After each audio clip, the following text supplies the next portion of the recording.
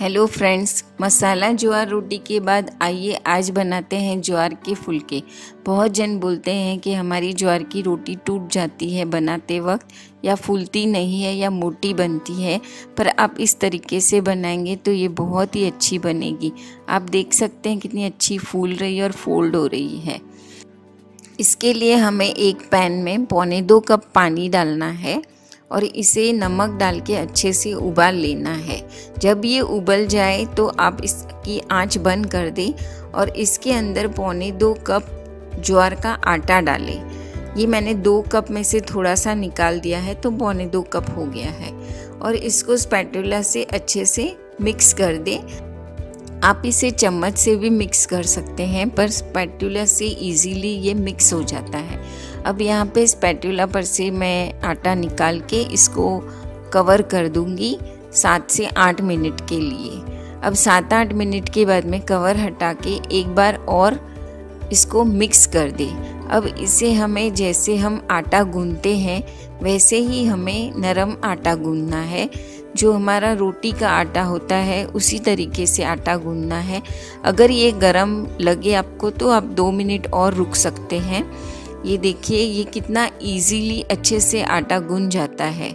और बिल्कुल भी हमें इसमें मेहनत नहीं करनी पड़ती है। ये नरम आटा गून के रेडी है। यहाँ पे मैं आधा चम्मच घी डाल के इसको अच्छे से फिर से गूंद रही हूँ। अच्छे से इसको मसल दें। अब जितना अच्छा मसलेंगे, उतनी ही रोटी सॉफ्ट और अच्छी बनेगी। ये यहाँ पे मैं अभी गोला बना रही हूँ। छोटे छोटे गोले बनाकर रख दें और इसे ढक्कन लगाकर आप रख दें, नहीं तो आटा सूख सकता है। तो जैसे जैसे आपको चाहिए, वैसे वैसे एक गोला लेकर आप रोटी बेलते जाएँ और सेकते जाएँ। ये यहाँ पे मेरे सारे गोले रेडी हैं। फ्रेंड्स ये रोटी ग्लूटेन फ्री रहती है और डाइजेस्ट करने में बहुत ही इजीली डाइजेस्ट हो जाती है। ये मैं एक गोला लेके अभी इसकी रोटी बना रही हूँ। मैं यहाँ पे बेलन से बना रही हूँ। आप इसे जो रोटी मशीन होती है, प्रेस करने वाली, उसमें भी बना सकते हैं। ग्रीजिंग कर दे पहले उसको। ये यहाँ पे देखिए थोड़ा थोड़ा आटा सूखा डाल के कितनी अच्छी और पतली रोटी बेल रही है। जैसे इसकी साइड्स भी ब्रेक नहीं हो रही है और जैसे हमारी गेहूँ की रोटी बिलती है, वैसे ही ये बेलने में आ रही है। अब तवा गरम रख दें और गरम तवे के ऊपर इसे डाल दें। इसको एक बार आप पलट दें और अच्छे से थोड़ा सा हिला दें। जब ये उस तरफ़ से हो जाए तो इसे आप इस तरीके से गैस पे फुला दें। आप इसको तवे पे फुलाना चाहें तो कपड़े से फुला सकते हैं, पर ये फुलके हैं, इसके लिए मैंने गैस पे फुलाना उचित समझा। और गैस पे फूली हुई रोटी बहुत टेस्टी लगती है। ये यहाँ पे मैं थोड़ा रोटी पे घी लगा रही हूँ। आप इसको नीचे लेके भी लगा सकते हैं। यहाँ पे रोटी के डब्बे में हम रोटी रख देंगे। ये सेकेंड रोटी है जो मैं फिर से आपको बेल के बता रही हूँ।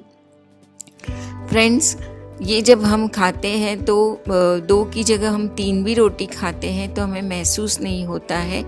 गेहूँ से ज्वारी डाइजेस्ट होने में बहुत ही हल्की होती है और इजीली डाइजेस्ट हो जाती है।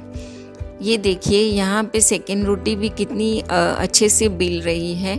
आप इसको जितना पतला कर सकते हैं, उतना पतला बेल सकते हैं और ये बहुत ही इजीली बेलने में आती है। ये यहाँ सेकेंड रोटी भी रेडी है हमारी सीखने के लिए।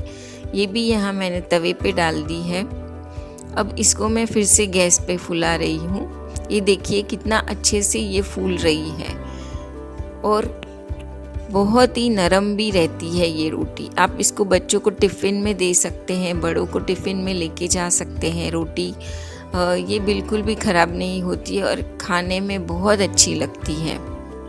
फ्रेंड्स, जवार के अंदर मिनरल्स विटामिन आयरन फॉस्फोरस बहुत होता है जो हमारे वेट को लॉस करने में हेल्प करता है। डायबिटीज़ वालों के लिए ये बहुत अच्छा है। अगर आपके पास ऐसी जाली है तो आप उसके ऊपर भी ये रोटी फुला सकते हैं।